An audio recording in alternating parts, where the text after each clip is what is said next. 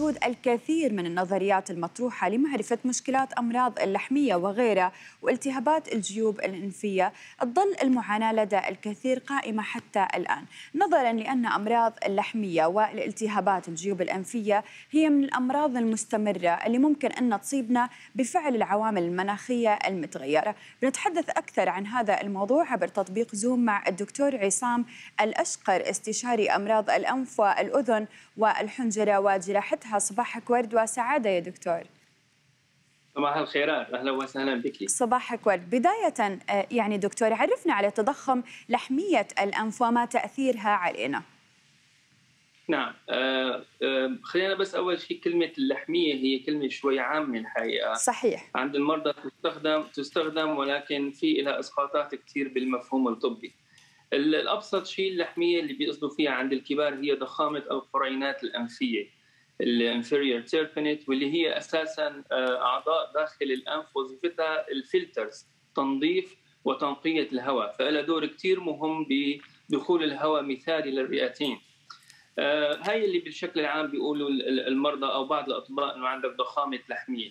طبعا نحن بنحب يعني بس نحط المسميات بمحلها لأنه أحيانا بيكون المريض confused إنه عنده لحمية وبيكون هو عنده مشكلة ثانية بس هيك نحكى له.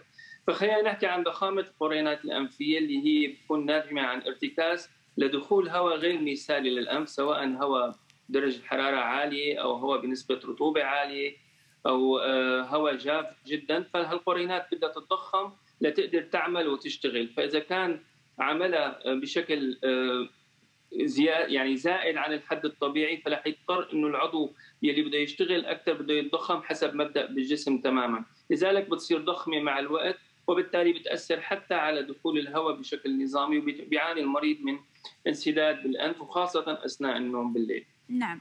طيب شو هي الأعراض دكتور؟ يعني أعراض تضخم لحمية الأنف أو قرينات الأنف. نعم. أشياء هي انسداد الأنف. المريض بيشعر أنه أنفه مسكر وخاصة بوضعية الاستلقاء وقت بينام لأنه حسب مبدأ الجاذبية بيجي كمية دم أكثر من اللازم حتى على الأنف فبالتالي بيتضخموا أكثر. لأنه هنا القرينات عبارة عن عضو غشاء مخاطي داخله جيوب وريدية كلها أوعية دموية وأوردة دموية تتوسع وتتقبض حسب كمية الدم اللي جاي لها. فبيشعر المريض بانسداد بيشعر أحيانا بجفاف. إذا استمرت الأعراض بدون علاج أو استمرت المشكلة بدون علاج رح تتطور ليصير عنده سوء تهوية بالجيوب. وطبعا اضطراب في النوم اللي بيؤدي بشكل آخر اثناء النهار إلى نعاس نهاري يؤدي إلى صحيح. ضعف بالأداء اليومي تبعه بسبب عدم جودة النوم. والمريض ما بيشعر ليش هو شاعر بخمل أو شاعر بتعب أو وهن أثناء النهار. بيكون سببه إنه بالليل ما عم ينام كويس لأنه أنفه ماله مفتوح بشكل جيد. صحيح. طب دكتور عصام من هم الأشخاص الأكثر عرضة للإصابة بتضخم لحمية الأنف؟ الحقيقة هن الأشخاص اللي عندهم حساسية شديدة في الأنف هدول أكثر عرضة لهالموضوع الأشخاص اللي هن بيشتغلوا بأماكن أو بطبيعه عملهم تجبرهم إنه يتعرضوا لمخرجات كثير مثل اللي بيشتغل بالدهان أو بيشتغل بال بالغبار بالبناء بالمواد الكيميائية بالاصبغه كل هدول الفئة من الناس الهواء اللي عم يدخل من طريق انفهم هواء ما له مثالي صحيح. يحتاج أنف جيد لحتى ينقي. صحيح. وبالتالي بده يتضخم هذه القرينات نعم.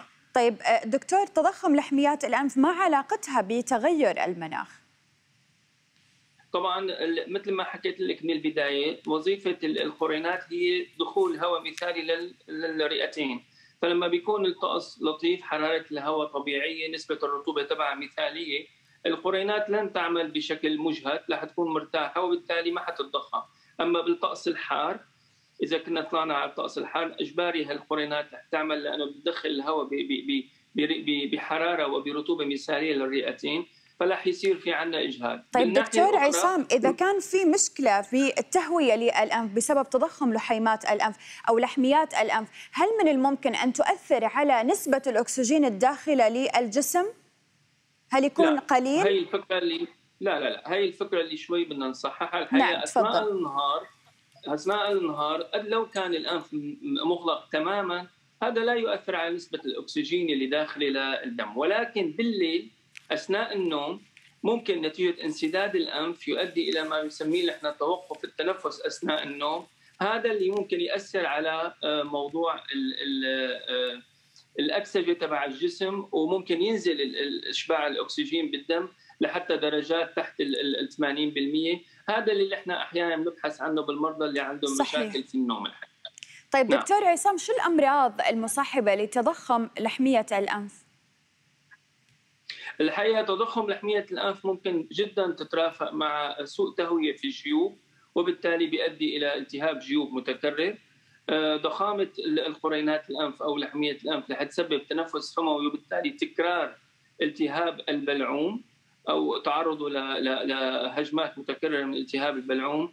التنفس الفموي اثناء أثناء النوم سيؤدي إلى حدوث صحيح. آه، قلص معدي مريئي أو ارتجاع مريئي. كمان هذا آه، رح يسبب مشكلة أكبر.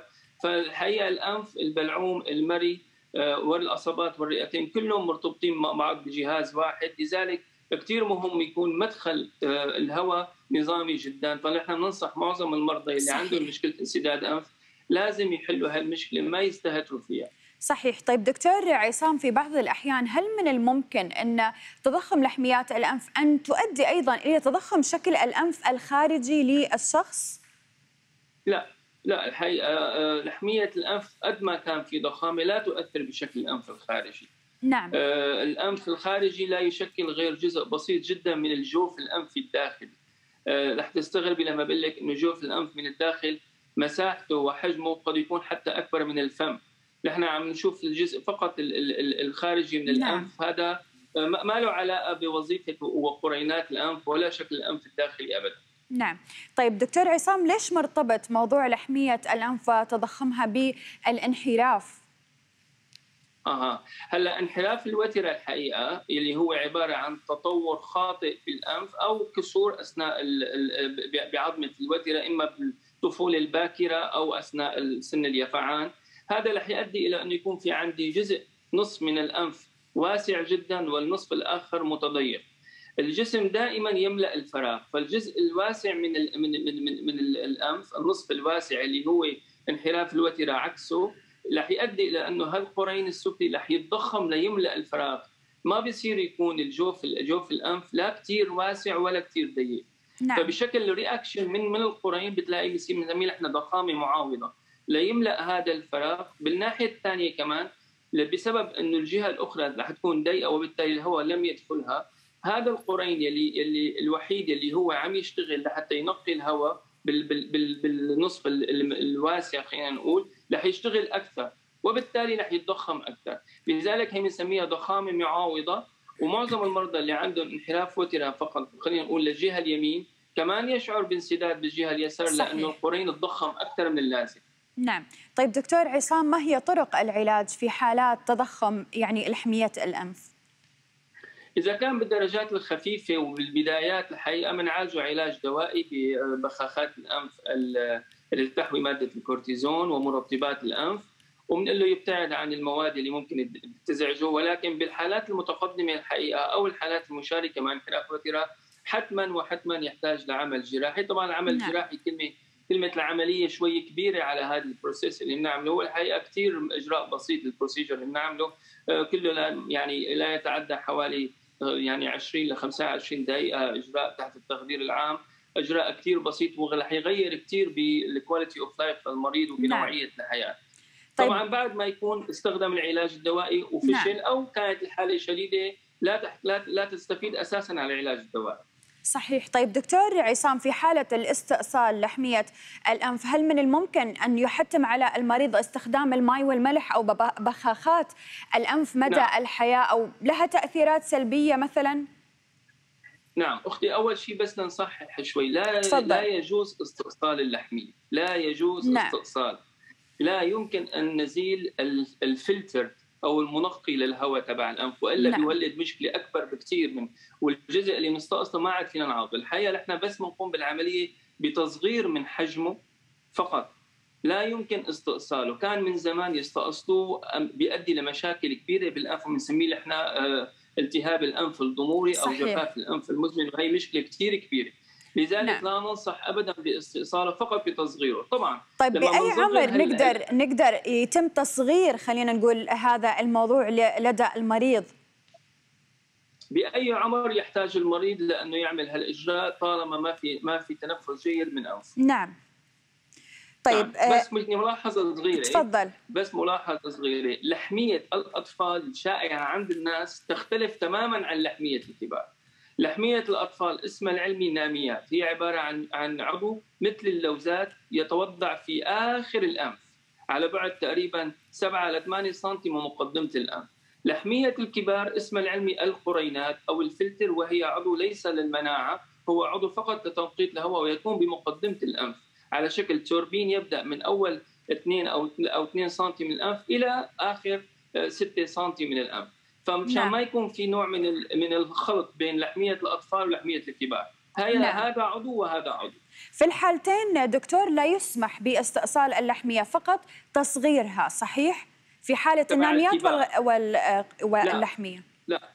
لا لا لا. تبع ناميات الأطفال ينصح باستئصالها استئصالها لأنه إذا إذا صغرتيها رح ترجع. أما نام... أما القرينات القرينات الأنفية ال inferior turbinates اللحمية عند الكبار خلينا نسميها بالعامي هي لا لا ينصح بأنه استئصال ينصح فقط بتصغيرها. صحيح. فعم يكون نحن نوع من الخلط عند المرضى بيقول لي دكتور أنا عملت لحمية وكان عمري 65 رجعت هي اللحمية لما تستأصل بأعمار صغيرة ما حيصير عمره 20 سنة وترجع. لا. هذا موضوع آخر. صفى عنده مرض آخر بس نفسهم المرضى بيطلقوا عليهم كلهم اسم لحمية. لذلك عم يصير نعم. نوع من هال الكونفيوجن نعم. صحيح. طيب دكتور في حالة القرينات إذا تم تضييقها مثل ما ذكرت هل من الممكن أن تعاود مرة ثانية لظهور التضخم باللحميات أم لا؟ قصدك القرينات؟ نعم القرينات. اذا اذا إذا تعالجت هل ممكن ترجع مرة ثانية؟ طبعا نعم. نحن لما بنعالجها للمريض بدنا نقول له في عندك شروط لحتى تحافظ على نجاح العملية لفترة طويلة. إذا كان مدخن فحتما نسبة الفائدة أقل من 50% إذا كان عنده تحسس أنفي والمريض مهمل لهالهجمات. تحسس مرض لا يمكن السيطرة عليه وإلغائه مثل السكري مثل الضغط ممكن يزول لحاله. فنحن بنقول له إنه كل هجمة تحسس لازم تعالجها وإلا هالقرينات رح ترجع تتضخم مرة ثانية. لأنه نحن ما زلناها.